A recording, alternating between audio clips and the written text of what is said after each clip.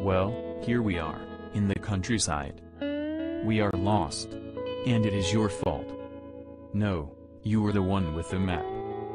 It is not my fault the tornado swept it away. Too bad the tornado didn't swipe you away.